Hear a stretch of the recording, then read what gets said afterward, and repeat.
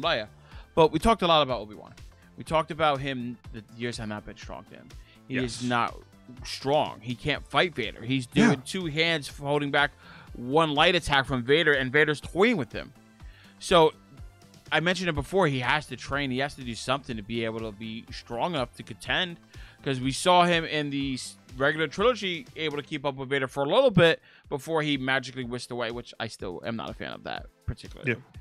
But how do we think he's going to get stronger? Do you think he's gonna like just do a training montage? He's gonna be hitting dummies or something? Do you think he's gonna reconnect his abilities with the Force? What do you think is uh, gonna happen? Yeah, I think he has to fully allow himself to open up to the Force again. I, I don't think a Jedi's power completely leaves them at all. I know it would definitely help if he had some time to train with his lightsaber.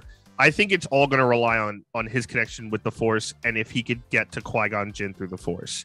I think that's his next move.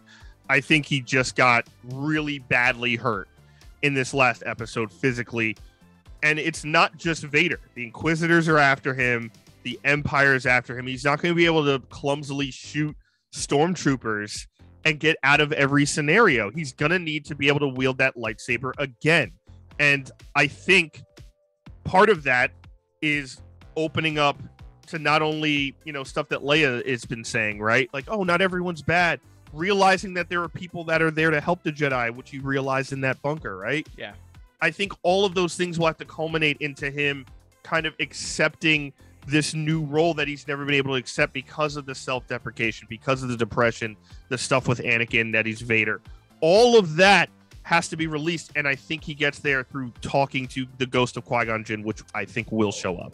I think that'd be really cool. I think that would be a nice ice cream topper to the cake. That's the only thing that makes sense because even before in the prequels, these are not the droids you're looking for. Like he Yeah. can mess with people's heads, and he's not doing that now. He's been shut off for the Force for so long because he mm-hmm. feels guilty. I think this is going to be the path of him forgiving himself to move forward to do all this other stuff. I would love to see that.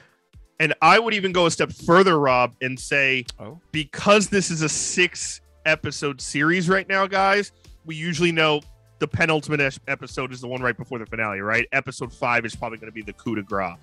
I think episode four has a big chance of being not only his connection to Qui Gon, oh yeah. but him rectifying all of his past mistakes and getting over it. Qui Gon taking him on like a force journey, per se, through Clone Wars flashbacks, through um, maybe Ooh. Ahsoka flashback, seeing the stuff as you know Anakin grew up, what went wrong, and getting over that so that he can be ready to take on the Inquisitors and Vader in this final showdown to save Leia and bring her back to home.